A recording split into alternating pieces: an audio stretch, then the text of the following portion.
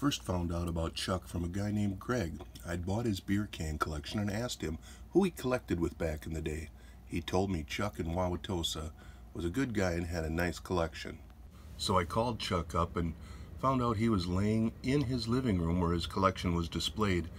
After a brief conversation, he started reading off all the stuff he had. Lots of cans, and it seemed like they were in good condition.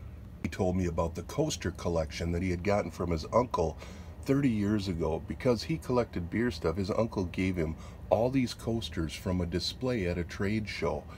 And from the brands, they sounded like they were from the 30s and 40s. I wrote down all the names on a piece of paper as fast as I could and questioned him on some of them, and I kept that piece of paper for 12 or 13 years. I looked at it many times, imagining what some of these examples looked like.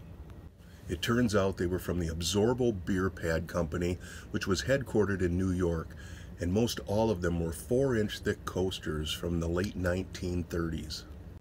They had a display set up at different trade shows where they would affix them to the back of the trade display and show all the different coasters they'd done around the nation for the different beer companies and breweries. The coasters were sprayed with some sort of protective shellac to keep them from chipping and to make them more durable.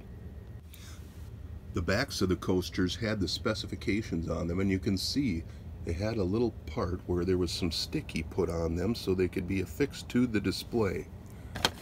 And see the sheen on them from the sealant or whatever they sprayed on them. Chuck had the coaster display on his walls and ceiling, and I sent him a letter probably once every year, but then I stopped hearing from him until I got an email from his brother Gary. It was a refrigerator magnet that I sent him five or six years ago, and he stuck on the refrigerator, which had my information on it. So Gary sent me an email and said he had found Chuck on the bathroom floor after four days, he was still alive. And the thing was, he didn't even crap himself, Gary said. But Chuck's collection had been boxed up and they were going to sell it. So why did I make this video and why should you care? Because a year after the fact that I thought I had found all these coasters and all the brands and taken it in, Gary texts me and says he has found a few more. And as a collector, it has taken all the patience that I can possibly muster on this earth to not open or look in this box. I don't know if it's got 1980s Budweiser coasters or soft drink coasters or a bunch of junk, but since unboxing videos are popular, I am going to open this up live and we're going to see what Gary found. Are you ready? Let's go. And no, not. Oh, oh, oh, I see. Yep, not so much. Oh my. Absorbo coasters, Meister Brau. That's a good sign. Wagner's Valkyrie. Yes. Oshkosh, Wisconsin. Here we go. Oh my. These are good. Oh my. Yay. See, there's the sticky on the back. But Miller High Life, ooh, that's an old one. Ho, ho, ho, ho. Old England, nice. Ooh, they got stickies. I'll have to go through these. Let's check out some more. Oh, man. check it out. Oh, they got stickies, but I'll check them out. Red Fox, Scotch Thistle Ale, Leidiger from Wisconsin. Look at these Wisconsin ones.